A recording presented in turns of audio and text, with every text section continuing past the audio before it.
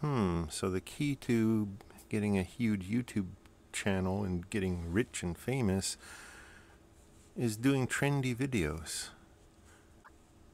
Oh, so this is trendy now. Okay, what is it? Hmm, how hard could that be?